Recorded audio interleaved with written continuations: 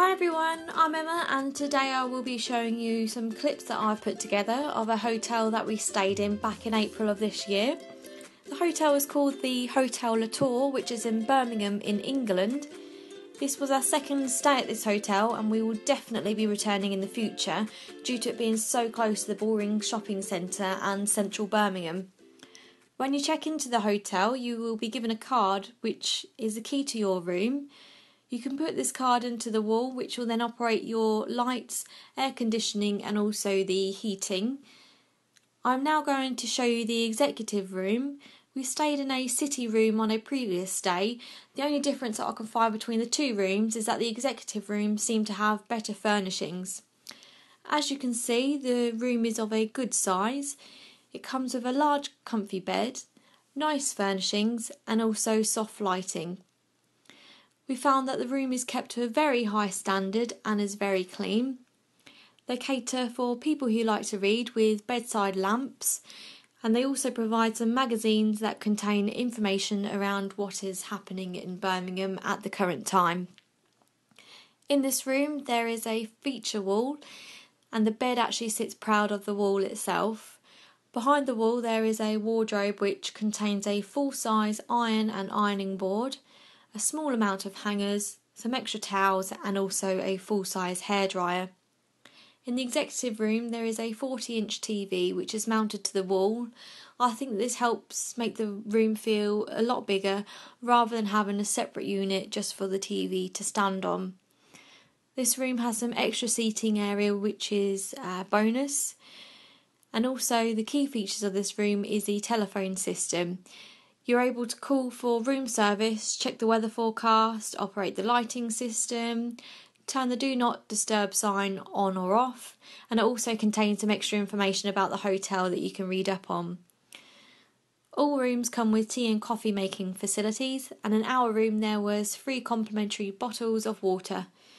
Below there is a separate cupboard to put your belongings away, and underneath that there is a safe which is complimentary to use.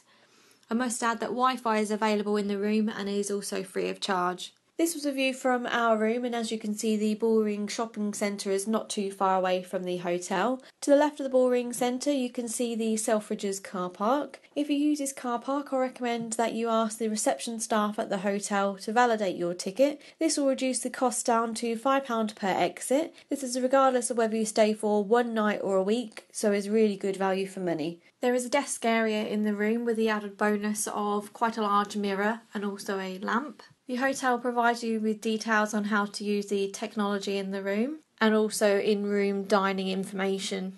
As this was our second stay at this hotel, it's really nice to have a little personalised note from the manager herself. Next to the desk area is sockets and ports to plug in your electronic devices. The next part of the room tour is the bathroom, which, in my opinion, is the best part of the room. There is a large mirror that doesn't steam up and a very modern tap and sink.